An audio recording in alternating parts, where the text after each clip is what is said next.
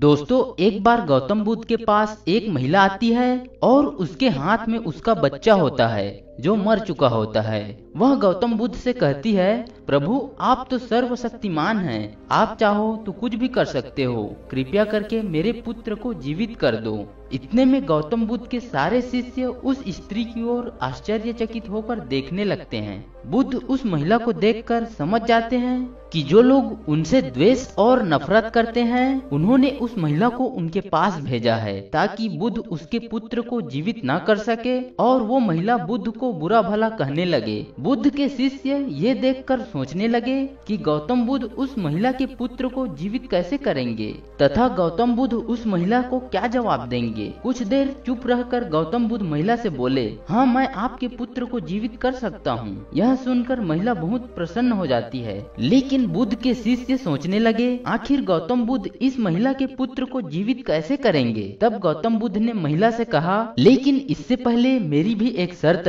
है। महिला बोली, कैसी शर्त प्रभु? तब गौतम बुद्ध बोले, तुम्हें मेरे लिए भिक्षा मांग कर लानी होगी, लेकिन ध्यान रहे, भिक्षा ऐसे घर से लानी होगी, जहाँ उस घर और उसके परिवार में आज तक किसी भी व्यक्ति की मृत्यु न हुई हो। यह सुनकर वह महिला पास ही के गाँव में भिक्षा मांगने चली जाती है। उसे भिक्षा तो कई घर से मिल गया। लेकिन पूरे नगर में ऐसा घर नहीं मिला जहाँ किसी की मृत्यु न हुई हो। शाम होते होते महिला को समझ में आ जाता है कि इस नगर में तो क्या पूरे संसार में ढूँढने पर भी ऐसा घर नहीं मिलेगा, जहाँ किसी भी व्यक्ति की मृत्यु न हुई हो। वह पुनः गौतम बुद्ध के पास जाती है और उनसे क्षमा मांगने लगती है।